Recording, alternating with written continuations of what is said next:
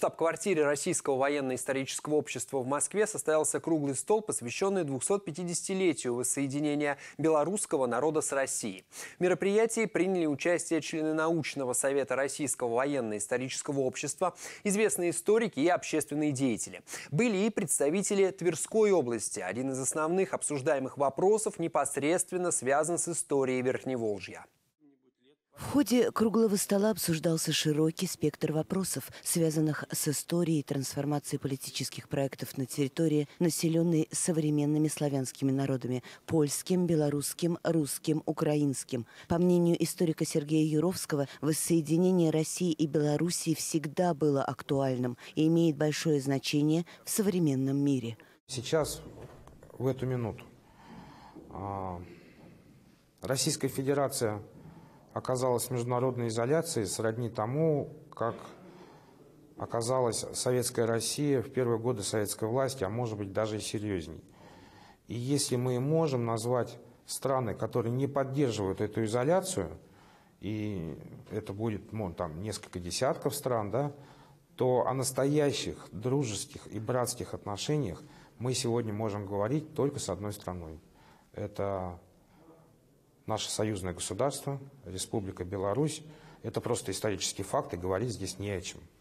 Участник круглого стола, автор книги «Польский террор в Беларуси», политолог Алексей Кочетков назвал воссоединение двух братских народов актом исторической справедливости и освобождением белорусов от колониального гнета поляков. В презентованной на круглом столе книге Алексей Кочетков раскрыл истинную роль солдат армии Краева в событиях Второй мировой войны, в том числе истребление белорусов по этническому принципу. В то же время в Тверской области, в Осташковском Кировском районе при входе в монастырь Нило-Столобенская пустынь, а это известнейшая православная святыня России, установлены мемориальные плиты, на которых увековечена и героизируется память польских солдат. По данным Юровского, в 1944 году на территории СССР были интернированы военнослужащие армии Краевой. Аковцы воевали против советских партизан, убивали военнопленных, бежавших из германского плена, боролись с продвигающимися частями Красной армии. По сути, армия Краева исповедовала тоже такую ультранационалистическую, почти нацистскую версию польского национализма.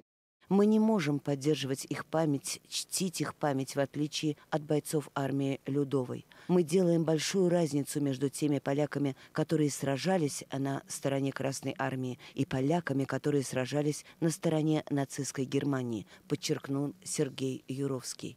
Теперь о правовом аспекте дела. Есть решение суда о том, что эти плиты находятся у монастыря необоснованно. Они были установлены польской стороной по неизвестным правовым основаниям. И когда историки подняли вопрос, кому они принадлежат, никто своих прав не заявил. В прошлом году Тверской областной суд признал плиты бесхозяйными. В этом году плиты перешли в пользование Осташковского муниципалитета Тверской области. Теперь стоит вопрос, что с ними делать дальше. Историки и многие представители общественности полагают, что расположение этих мемориальных плит у входа в православную святыню недопустимо, так же, как прославление нацизма, которое в России карается законом. Теперь слово за тверскими властями.